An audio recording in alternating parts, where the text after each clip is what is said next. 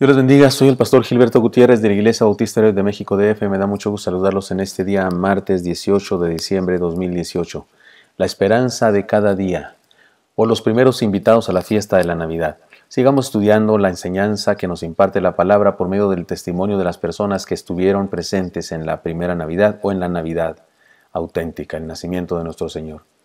Hoy nos corresponde analizar el testimonio de Juan el Bautista. Le llamaremos a este devocional o a esta serie de dos devocionales Juan el Bautista, la misión de la Navidad. También podemos llamarle en Navidad una vivencia personal. Leamos el texto, se encuentra en el Evangelio de Lucas capítulo 1 versículos 57 al 80. Dice así, Cuando Elizabeth se le cumplió el tiempo de su alumbramiento, dio a luz a su hijo, y cuando oyeron los vecinos y los parientes que Dios había engrandecido para con ella su misericordia, se regocijaron con ella. Aconteció que al octavo día vinieron para circuncidar al niño y, le llamaron con el nombre de su padre, le llamaban con el nombre de su padre Zacarías. Pero respondió su madre y dijo, no, se llamará Juan. Le dijeron, ¿por qué? No hay nadie en tu parentela que se llame con ese nombre. Entonces preguntaron por señas a su padre cómo le quería llamar y pidiendo una tablilla escribió diciendo, Juan es su nombre. Y todos se maravillaron. Al momento fue abierta su boca y suelta su lengua y habló bendiciendo a Dios y se llenaron de temor todos sus vecinos. Y en todas las montañas de Judá, Judea se divulgaron todas estas cosas y todos los que las oían las guardaban en su corazón diciendo, ¿quién pues será este niño? Y la mano del Señor estaba con él.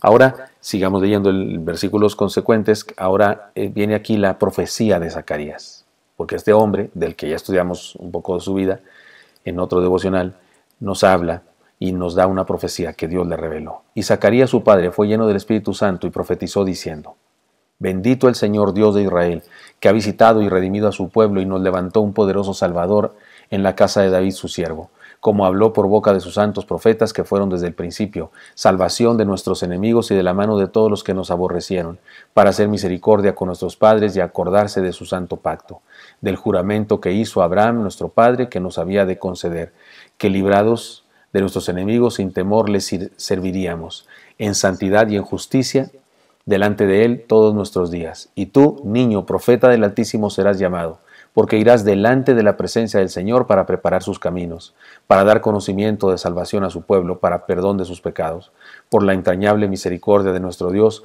con que nos visitó desde lo alto de la aurora, lo alto, perdón, desde lo alto la aurora, para dar luz a los que habitan en tinieblas y en sombra de muerte, para encaminar nuestros pies por el camino de paz. Y el niño, se, el niño crecía y se fortalecía en espíritu y estuvo en lugares desiertos hasta el día de su manifestación a Israel. A quien describe esta profecía es a Juan el Bautista, el precursor del reino. Me refiero al heraldo, el que va adelante. La avanzada sería el día de hoy el nombre en la política, alguien que llega primero que el rey, anunciando, viene el rey, prepárense, preparen los caminos para que él venga.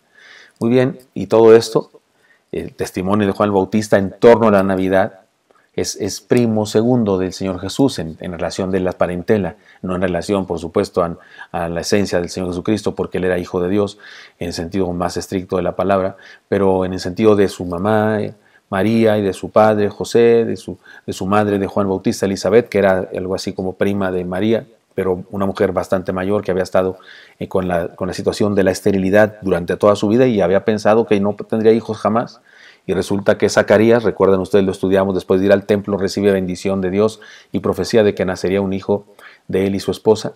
Y, ahora esta profecía con respecto a Juan el Bautista, y es él a quien se refiere, al precursor, el que va adelante, el que abrió camino para que el Señor viniera predicando después. ¿Qué nos enseña esto? Su presencia de Juan el Bautista en torno a la Navidad. Nos recuerda la alegría de vivir. El texto dice que se regocijaron con ella.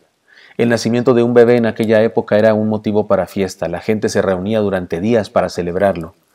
Por si fuera poco, en aquella ocasión el nacimiento de Juan representaba algo especial, sus padres eran viejos, su madre había sido estéril, su papá había experimentado una manifestación especial de Dios, y esto nos enseña lo siguiente, somos un regalo de Dios para alguien, todos, todos los nacidos, todos los seres humanos, somos un regalo de Dios para alguien. Nuestra vida, nuestro nacimiento alegró a alguien y superó, perdón, y super alegró a Dios. Nuestra vida, nuestro nacimiento alegró a alguien y superó, perdón, y super alegró a Dios. En tercer lugar, nuestra vida revolucionó la comunidad donde nacimos, familia, localidad, etc. Toda vida que nace revoluciona a la gente que lo recibe. No pregunten a los recién, a los recién paridos, a los, a los papás primerizos que tienen un mes apenas con tu chamaco, no duermen todo toda la noche están despiertos porque su niño tiene que comer cada tres horas. Y además tienen situaciones de, estrés y preocupación, ¿qué van a hacer? No alcanza el dinero y transforma la vida de cualquiera, un hijo. Independientemente de cualquier cosa, debemos alegrarnos de estar vivos. Así es que, en primer lugar, el testimonio de Juan el Bautista nos recuerda la alegría de vivir. En segundo lugar, nos recuerda el gozo de ser alguien. El texto de la profecía dice, Juan es un hombre. Juan significa la gracia y la misericordia de Dios. Fue orden de Dios que se llamara así. Dios le puso así entonces aunque de acuerdo a las tradiciones sociales de aquella época debía llamarse de alguna otra manera, según su papá, según su tío, su abuelo, algo así. Pero no, se pusieron de acuerdo en llamarlo Juan. Esto es lo que enseña lo siguiente. Esto, nos enseña lo siguiente. Nuestra vida tiene un propósito importante y trascendente. No, no, no somos producto del azar, no somos chiripa de la vida, no, Señor.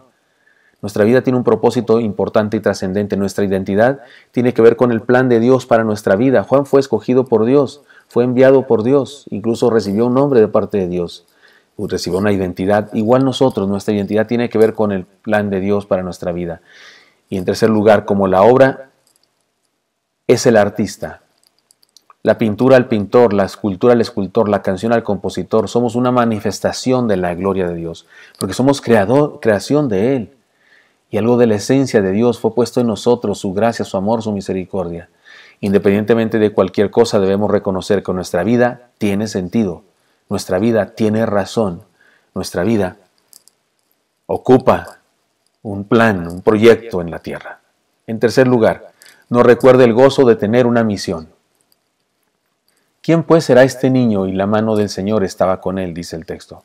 La gente estaba sorprendida de los eventos especiales alrededor de aquel niño llamado Juan y reconocieron que había de desarrollar una importante tarea. Esto nos enseña lo siguiente. Cada uno de nosotros ha recibido gracia de Dios. Todos sabemos, tenemos y somos especiales ante Dios. Y en tercer lugar, Dios nos creó a cada uno de nosotros con un propósito extraordinario, con un propósito trascendente, más allá de, las, los metas, normales de un ser humano, estudiar, tener una carrera, tener dinero, casarse. Pero más allá de eso, Dios nos creó a cada uno de nosotros con un propósito trascendente, extraordinario. Así que independientemente de cualquier cosa, debemos reconocer que tenemos una misión que cumplir en la vida. Miren, tres, tres cosas nos recuerda el testimonio de Juan Bautista en torno a la Navidad. Nos recuerda la alegría de vivir, hay gozo. Dios se alegró cuando nos creó, se alegraron algunos de los seres de nuestra familia o todos los seres de nuestra familia. Se alegraron todos los que nos conocieron, por supuesto que papá, por supuesto que mamá, por supuesto que soy papá, soy, soy esposo de una mujer que es mamá y sé la alegría que producen que los hijos nazcan y que estén con nosotros. Todavía recuerdo mi primera experiencia con Isaac en un hospital de, del gobierno y las dificultades para entrar a ver a mi esposa y finalmente sí permitirme ver a mi niño. Y es una experiencia indescriptible, maravillosa y trastorna la vida, transforma la vida. Y después, cinco años y medio después más o menos, el, el siguiente hijo, otra alegría, otra revolución, otra, otra bendición, manifestación del amor de Dios. Pues aquel nacimiento de aquel profeta precursor del Evangelio nos recuerda la alegría de vivir, pero también nos recuerda el gozo de ser alguien, porque no era cualquier persona ese Juan, era alguien a quien Dios había designado para una para una bendición especial.